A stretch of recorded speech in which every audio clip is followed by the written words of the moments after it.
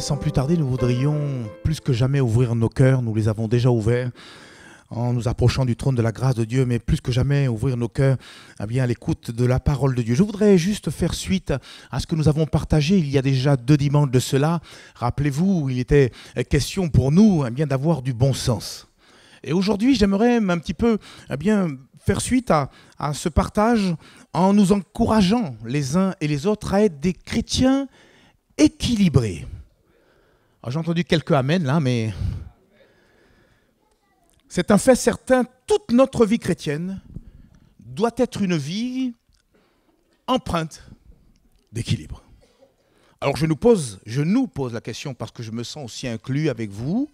Sommes-nous des chrétiens équilibrés? Je ne vais pas vous demander de, demander à votre voisin, voilà, de lui poser, cette question. Est-ce que tu es un chrétien équilibré? Ne le faites pas. Hein oh, je vois qu'il y en a qui anticipent quand même. Hein Sommes-nous des chrétiens équilibrés Alors peut-être se poser la question, qu'est-ce que j'entends par être des chrétiens équilibrés? Être un chrétien ou une chrétienne équilibrée consiste à être raisonnable, modéré, réfléchi, sensé, stable en toutes choses. Un chrétien équilibré, on peut le dire, est un croyant qui est modéré et sage au niveau tant de ses paroles que de ses actions.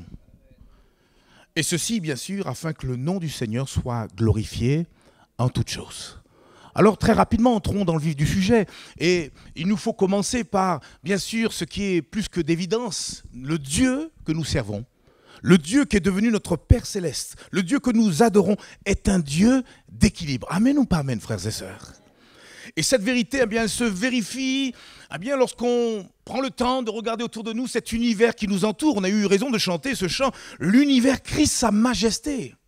Parce que quand on, eh bien, on est attentif, vous savez, aujourd'hui, ça va tellement vite qu'on n'a pas le temps de se poser. Est-ce que vous aimez la nature? Moi, j'aime bien me poser, regarder, contempler cette nature tant dans l'infiniment grand que dans l'infiniment petit, comme on l'avait partagé il y a deux dimanches de cela, et réaliser que finalement, bien, Dieu a fait en sorte eh bien, de tout placer. Rien n'est fait au hasard, mes amis. Dieu, eh bien, combiné avec son intelligence et sa, toute-puissance, a permis d'équilibrer toutes choses.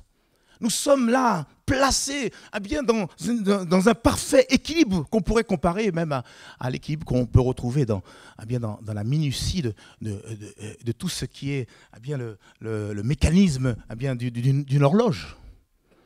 D'ailleurs, il y a un, grand philosophe euh, français du XVIIIe siècle, il a été aussi écrivain, il n'était pas forcément croyant, mais cet homme, du nom de Voltaire, a été obligé d'avouer la chose suivante je cite ces paroles, L'univers m'embarrasse et je ne puis songer que cette horloge existe et n'est pas d'horloger.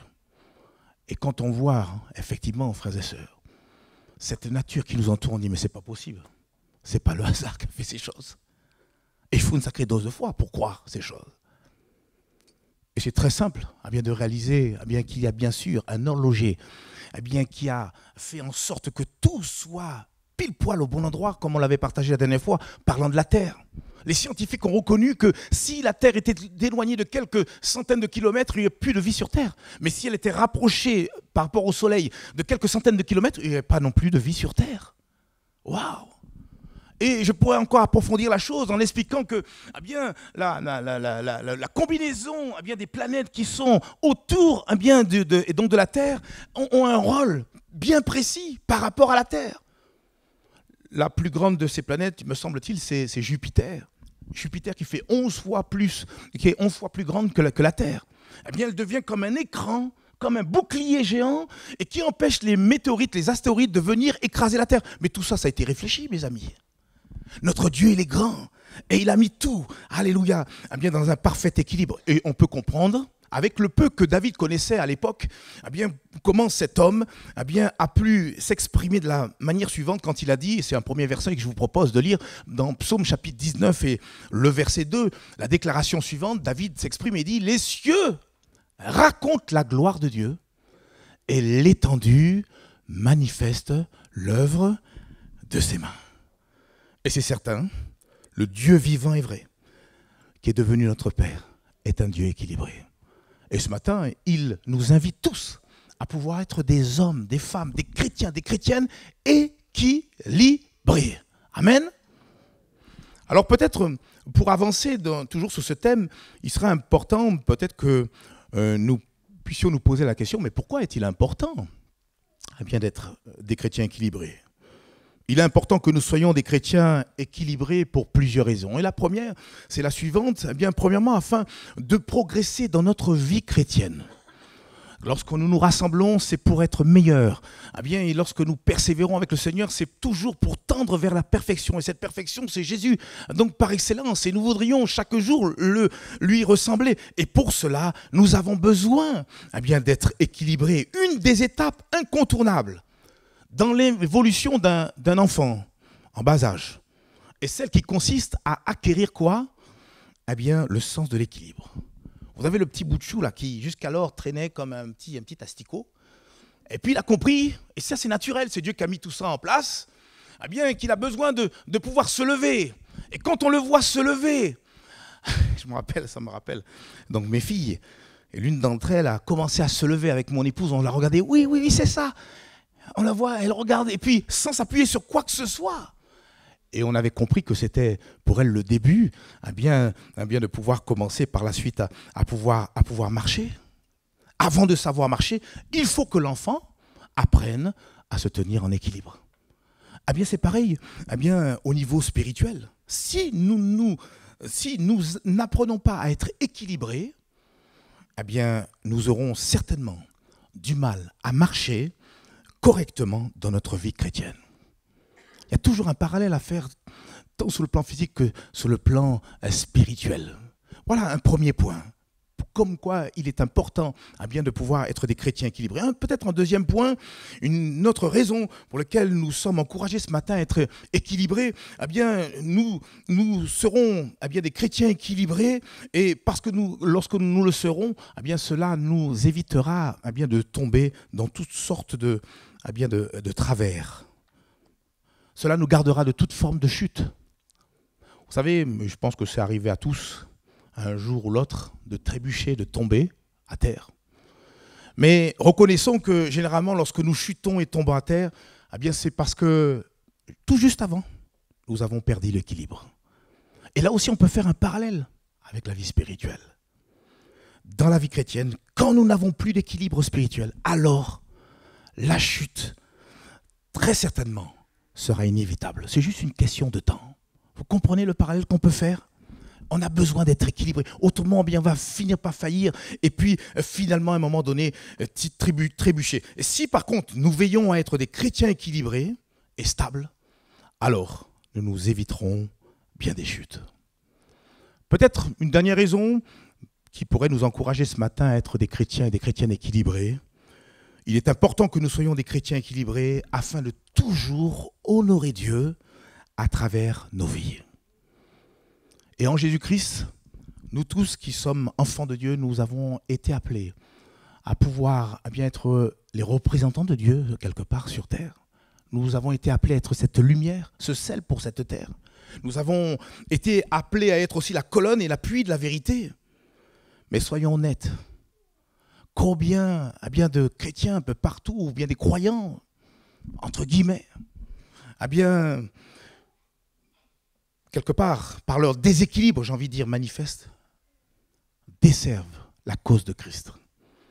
Et un, un, exemple que je pourrais vous donner, mais bon, qui est vraiment un exemple très extrême, je ne sais pas si vous le savez, en Amérique, dans l'État de Virginie, il y a une église où le pasteur convie ah bien, c'est fidèle à pouvoir venir tout nu.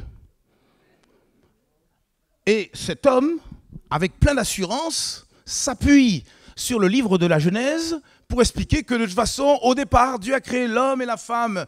Ah bien, oui, sans vêtements, et on a besoin de revenir. Vous, voyez comment on peut partir très, très facilement, très rapidement? Et on voit comme ça toutes sortes de débordements, toutes sortes de dérèglements, et qui malheureusement, comme j'ai dit, ne, servent pas l'évangile, déshonorent eh bien, la cause eh bien, de notre Seigneur Jésus-Christ. Alors que jamais, par des comportements insensés, ou même par des attitudes déséquilibrées, nous déshonorions le beau nom que nous portons le beau nom du Seigneur Jésus. Amen, frères et sœurs. Alors il y a bien des domaines où nous avons besoin d'être des chrétiens équilibrés. Et je voudrais vous donner quelques exemples. Euh, par exemple, au niveau de la compréhension justement des, des enseignements de la Bible, et je voudrais être très factuel ce matin et très concret et vous donner quelques exemples. Par exemple, dans Actes chapitre 15 et le verset 1, on voit qu'après un bien grand réveil qui est survenu, qui a commencé à Jérusalem et qui s'est répandu un petit peu partout, un bien dans la Macédoine, un peu partout, la Bible nous dit dans Actes 15, verset 1, que quelques hommes, on n'a pas plus de précision sur ces personnes, certainement des croyants, venu de la Judée, enseignait les frères en disant, si vous n'êtes circoncis selon le rite de Moïse, vous ne pouvez être sauvés. Et ça, c'est un peu à la mode, hein. un retour vers la loi mosaïque, retrouver un petit peu les lois de l'Ancien Testament. Mais voyez-vous, ces mêmes hommes hein, dont on n'a pas plus d'informations n'avaient pas compris que eh bien, tout ce qui concernait la circoncision concernait avant tout eh bien, le peuple juif, qui était encore sous la loi mosaïque. Mais pour nous, enfants de Dieu, nous qui sommes sous la nouvelle alliance, plus question d'être sous la loi. Nous sommes potentiellement sous, sous la grâce. Il n'est plus question, eh bien, pour nous, de pratiquer une quelconque circoncision physique. C'est plutôt une circoncision de cœur, eh bien, à laquelle eh bien, Dieu nous appelle. Et pour la circonstance, Paul a a dû éclairer justement ces païens, ces non-juifs euh, qui s'étaient convertis à Jésus et qui, euh, quelque part, euh, et à qui on, a voulu imposer la circoncision. Je vous lis eh bien, quelques versets où là, on voit bien Paul apporter cet équilibre. Et il va dire, par exemple, dans 1 Corinthiens, chapitre 7, versets 18 à 19, les vérités suivantes. Quelqu'un a-t-il été appelé étant circoncis Qu'il demeure circoncis. Quelqu'un a-t-il été appelé étant incirconcis? Qu'il ne se fasse pas circoncire. Si demain quelqu'un vous dit de vous faire circoncire, vous lui apportez ce passage. Amen. La Bible, elle est toute simple et il s'agit pour nous de la mettre en pratique. Un autre, un autre verset ou encore, eh bien, Paul insiste, il va dire dans Galates chapitre 5 verset 6, la vérité suivante, car en Jésus, ni la circoncision ni l'incirconcision n'a de valeur, mais la foi qui est agissante par la charité ou par l'amour. Un autre passage, Galates chapitre 6 et le verset 15, car ce n'est rien que d'être circoncis ou incirconcis, ce qui est quelque chose, frères et sœurs, c'est d'être une nouvelle créature et pas courir vers des pratiques, pas courir vers des... Vous savez, un autre exemple que je pourrais vous donner toujours sur ce thème, eh bien d'avoir vraiment cette compréhension, cette bonne interprétation des, enseignements. Il y, a, un jour, j'étais à l'époque en, Martinique et quelqu'un m'a arrêté, un, un croyant d'une autre religion, il m'a dit, écoute, si tu, si tu continues à manger du porc, tu iras droit en enfer. Waouh J'ai dit, ah bon? Et où tu as lu ça? Et il était convaincu, convaincant. Mais qu'est-ce que dit la parole de Dieu? Qu'est-ce qu'elle dit? Plus exactement, qu'est-ce que dit Jésus? Matthieu chapitre 15, verset 11. Alors je vous donne plein de versets et plaise à Dieu que vous puissiez peut-être même retenir ces choses, car lorsque vous serez confronté à ces gens de remarques, que vous puissiez ramener l'équilibre que nous apporte la parole de Dieu. Jésus dit, ce n'est pas ce qui entre dans la bouche qui souille l'homme, mais plutôt ce qui en sort. C'est cela qui souille l'homme. Et dans le texte, il continue après, par la suite, à énumérer eh bien, toutes sortes de mauvaises choses qui sortent eh bien, du cœur de l'homme. Mais manger du porc, ben, cela, ce n'est pas un problème, ça. C'est pas un problème. Regardez un autre passage, cette fois-ci, c'est l'apôtre Paul eh bien, qui renchérit et qui va dire dans 1 Corinthiens chapitre 10, verset 25. Alors, je vais vous lire le verset dans la version Summer. Il dit Vous pouvez manger de tout ce qui se vend au marché sans vous poser de questions. Par scrupule de conscience, sur l'origine de ces aliments. Demain, je ne sais pas, c'est mardi aujourd'hui, euh, c'est mardi qui a, a le marché. Allez sur le marché et achetez eh bien, ce que bon vous semble. C'est important. Parce que nous, nous avons compris, et c'est peut-être le temps qui me manquerait pour vous citer aussi cet autre passage, hein, Timothée 4, verset 5, où il est dit, où euh, l'apôtre Paul rappelle que tout est sanctifié par la prière et par la parole. On vient, on prend, Et puis d'ailleurs, on ne sait pas vraiment donc l'origine de, tous les aliments. Seigneur, avant de manger, d'ouvrir la bouche, Seigneur, nous te bénissons eh bien pour ces aliments, nous te demandons de les sanctifier. Vous allez au restaurant, vous ne savez même pas ce qui se passe dans la cuisine. Hein ce qui est important, tout est sanctifié par la prière et par la parole. Je vous cite une phrase bien connue parmi les professeurs de lettres. Cette parole, vous la connaissez, un texte sorti de son contexte n'est que prétexte. Eh bien, moi, j'aimerais aussi eh bien, rajouter eh bien, un petit peu ma sauce en disant un texte de la Bible sorti de son contexte peut devenir non seulement un sujet de polémique, peut devenir même un sujet de trouble et de déséquilibre pour beaucoup de croyants. Donc croire à la parole, c'est bien, mais il faut bien comprendre cette parole. Et pour cela, nous avons besoin de l'intelligence du Saint-Esprit, de la sagesse du Saint-Esprit, qu'il vienne, qu'il vienne et qu'il puisse nous enseigner, eh bien qu'il nous apporte un éclaircissement sur ce que nous pouvons lire ou méditer. Vous savez, la Bible a été conçue pour qu'elle soit accessible à tous. Mais quelquefois, on peut arriver à déformer eh bien, un verset en le sortant justement de son contexte. Et puis en faire un prétexte mais que Dieu nous garde eh bien, de cela.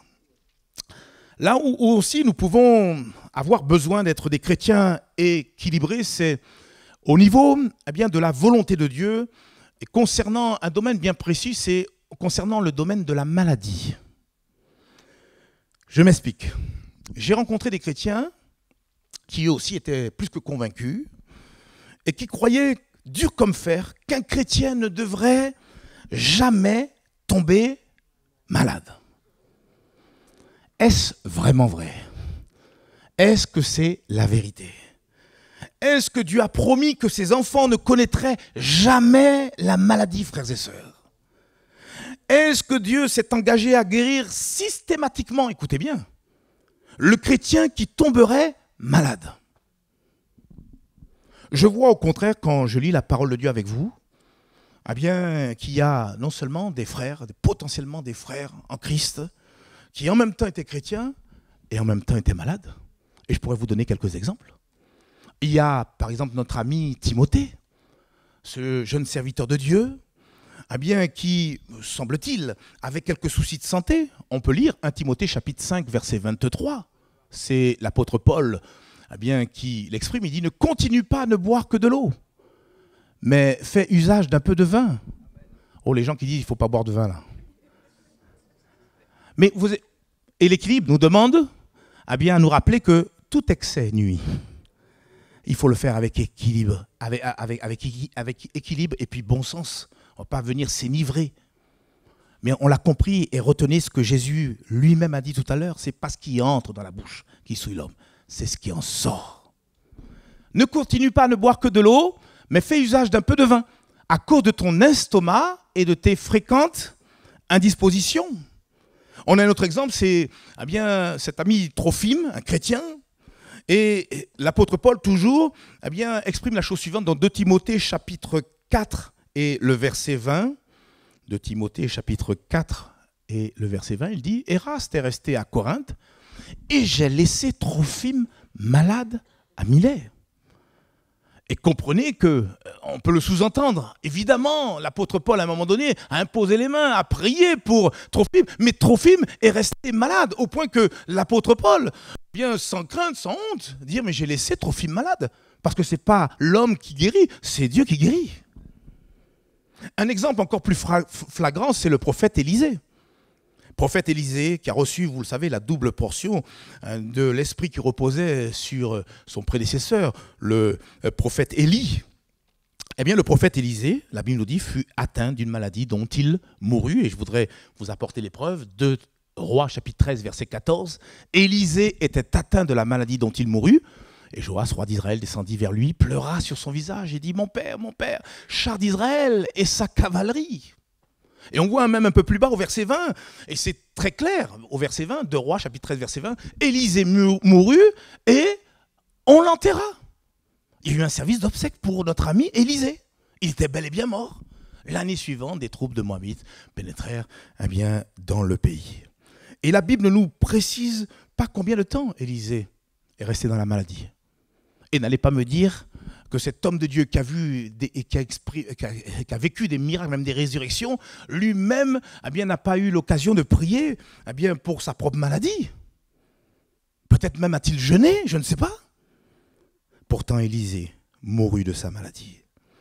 Est-ce que l'on ne doit pas perdre de vue C'est que notre Dieu, qui nous aime, ça c'est indéniable, c'est aussi un Dieu qui est souverain il fait ce qu'il veut depuis son trône.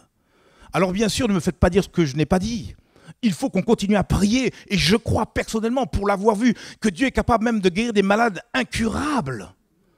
Des personnes qui étaient atteintes du sida, venant avec l'attestation du médecin comme quoi, eh bien, ils ont été miraculeusement guéris, je l'ai vu. Des personnes avoir retrouvé la vue, je l'ai vu, frères et sœurs. Ça a été ma tendre enfance. Il faut continuer à prier de tout notre cœur et avec foi, parce que le Dieu qu'on sert, c'est un Dieu qui guérit encore aujourd'hui. Mais nous devons aussi nous rappeler que c'est Dieu qui, dans sa souveraineté, frères et sœurs, décide de guérir ou pas le malade. Car voyez-vous, les, voies de Dieu, eh bien, elles sont quelque peu, on dit souvent, impénétrables, quelquefois incompréhensibles, qui nous échappent. Et Dieu, il sait ce qu'il fait, mes amis. Dieu peut choisir de se glorifier à travers la guérison, mais il peut aussi choisir de se glorifier à travers la maladie. Et je vais même plus loin, à travers même la mort. Vous savez, il y a des personnes qui ont été complètement fermées à l'évangile. On leur parlait de l'évangile en long, en large, ça ne les intéressait pas. Mais lorsque eux-mêmes ont été confrontés à la maladie, ou, lorsqu'ils ont vu, eh bien peut-être un, un, être cher autour d'eux, eh bien partir et quitter cette terre, eh bien ces mêmes personnes se sont mises à chercher Dieu. Dieu, il fait comme il veut et il sait ce qu'il fait. Amen. Mais voilà, j'insiste. Voilà, ne me faites pas dire ce que je n'ai pas dit. Continuez à prier parce que notre Dieu, c'est le Dieu des miracles et il guérit encore aujourd'hui. Dans tous les cas, Dieu sait ce qu'il fait, alors ayons également confiance en notre Dieu. Je ne veux pas être trop long, vous savez que aujourd'hui c'est un petit peu quelque peu spécial, mais je voudrais terminer aussi en disant que nous avons besoin d'être équilibrés au niveau également de, la mise en pratique de la parole de Dieu. Tout à l'heure, on a parlé d'être de, euh, équilibré au niveau de la compréhension, euh, de, l'interprétation que nous pouvons apporter de la parole de Dieu. Mais il s'agit aussi eh bien de savoir la mettre en pratique, cette parole. Et je vous donne un exemple parmi tant d'autres. Ça, c'est le temps aussi qui nous manquerait pour en citer d'autres exemples. Mais regardez celui-là, par exemple. Ecclésiaste, chapitre 7 et le verset 16. Ecclésiaste, chapitre 7 et le verset 16 ne sois pas juste à l'excès et ne te montre pas trop sage, pourquoi te détruirais-tu? Alors, je vous, lis ce même verset dans une autre version, la version Summer, qui est à peu près similaire. Ne sois pas juste, outre mesure, et ne sois pas trop sage. Pourquoi te détruirais-tu? Et ça rebondit sur ce que j'ai dit tout à l'heure, un texte sorti de son contexte peut-être un prétexte. Et ce verset, il a été tellement mal compris que certaines personnes eh bien, viennent à, pouvoir faire euh, des choses qui ne sont pas très claires, des choses douteuses, en s'appuyant sur ce passage. Mais Joël, il est dit, ne sois pas juste à l'excès. Donc un petit écart, un petit mensonge, ouais, ça mange pas de pain. Mais vous l'avez compris, ce n'est pas ce que nous invite à faire ce verset de la Bible. En fait, ce verset nous invite à ne pas nous laisser emporter par un zèle excessif, que Dieu d'ailleurs ne nous a jamais demandé de manifester. Car ce zèle, eh bien, premièrement, il est charnel, et il peut être même nocif, parce qu'il est dit, ne sois pas juste à l'excès et ne te montre pas trop sage, pourquoi te détruirais, te détruirais-tu? En fait, être juste à l'excès, c'est chercher quelque part peut-être par orgueil, être plus royaliste que le roi. C'est quelque part être un peu légaliste. C'est être plus juste que Jésus, qui est d'ailleurs notre seul et unique roi. Et on a tellement d'exemples. L'exemple, par exemple, des pharisiens qui ont accompagné négativement eh la vie et le ministère du Seigneur Jésus.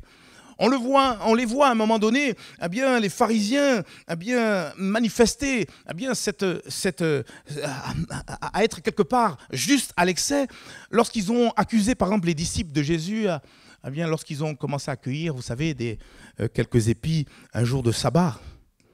Et c'est alors que Jésus, certainement avec douceur, avec patience, a ramené l'équilibre en remettant les choses à leur place. Et je vous propose juste de lire ce, texte qui est, qui est, magnifique, Marc chapitre 2, verset 23 et verset 28, qui nous rappelle un petit peu ce que je viens de résumer. Marc chapitre 2, verset 23, il arriva un jour de sabbat que Jésus traversa des champs de blé, puis ses disciples, chemin faisant, se mirent à arracher des épis. Et les pharisiens lui dirent, mais voici pourquoi font-ils ce qui n'est pas permis pendant le sabbat? Jésus leur répondit, n'avez-vous jamais lu ce que fit David lorsqu'il fut dans la nécessité et qu'il eut faim Lui et ceux qui étaient avec lui? Comment il entra dans la maison de Dieu du temps du souverain sacrificateur Abiata et mangea les pains de proposition qui n'est pas qui n'est permis qu'aux sacrificateurs de manger et en donna même à ceux qui étaient avec lui? Puis Jésus leur dit comme une forme de conclusion, le sabbat a été fait pour l'homme et non l'homme pour le sabbat. De sorte que le Fils de l'homme est maître même du sabbat. Et je crois que ce jour-là, les pharisiens avaient besoin d'entendre ces choses. Et nous aussi, on a besoin d'avoir ces éclaircissements pour savoir parfaitement bien mettre en pratique la parole de Dieu et comprendre le sens même des commandements de Dieu, voir cette, cette acuité spirituelle, cette intelligence spirituelle pour savoir ce que eh bien, Dieu est en train de nous dire. J'avais donné l'exemple la dernière fois, rappelez-vous, euh, ce passage qui dit, si ton œil est pour toi une pierre d'achoppement, eh bien arrache-le. Ou si c'est ta main, ta main droite, ben coupe-la et jette-la.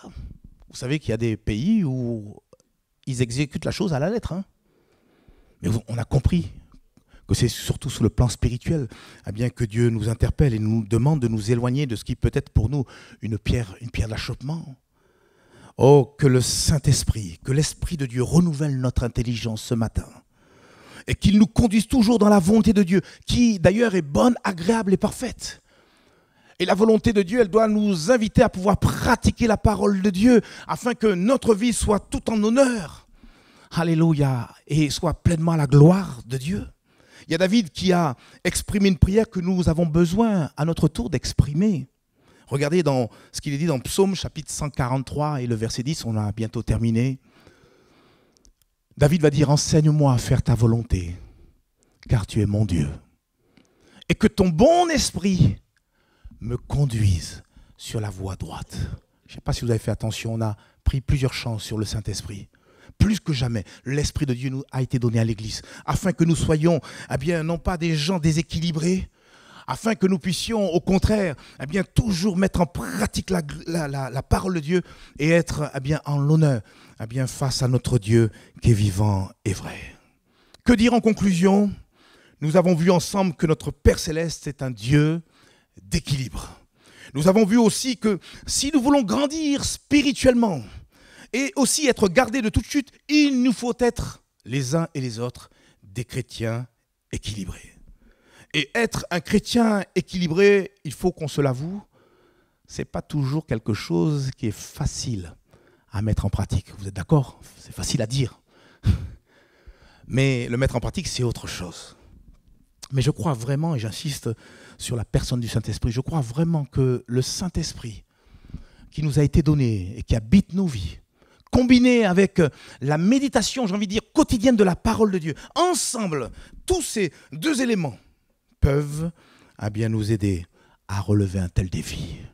Alors que Dieu nous aide, que Dieu nous assiste et nous donne à être des chrétiens, des chrétiennes équilibrés, afin que nous soyons en retour à bien pleinement à la gloire de notre Dieu et que nous puissions glorifier l'Évangile. Prions ensemble le Seigneur. Amen. Seigneur, mon Dieu, comme nous l'avons dit en introduction, si nous sommes là, c'est pour être meilleurs et non pas pour être pire. Et tu nous as donné comme une boussole, un repère, c'est ta parole. Et nous voudrions constamment l'avoir devant nos yeux. Mais Seigneur, Père, l'avoir devant nos yeux est une chose. Nous avons besoin de bien la comprendre, afin d'avoir du bon sens, mais aussi, comme nous l'avons partagé aujourd'hui, de l'équilibre en toutes choses. Seigneur, que nous ne desservions pas Seigneur, le merveilleux message de l'Évangile. Que nous ne te déshonorions pas, Seigneur Père, par nos mauvais comportements, des attitudes complètement insensées. Mais donne-nous être des chrétiens, des chrétiennes équilibrés. Donne-nous être véritablement cette colonne, cet appui de la vérité. Donne-nous être véritablement ces poteaux indicateurs pour ceux qui nous voient vivre.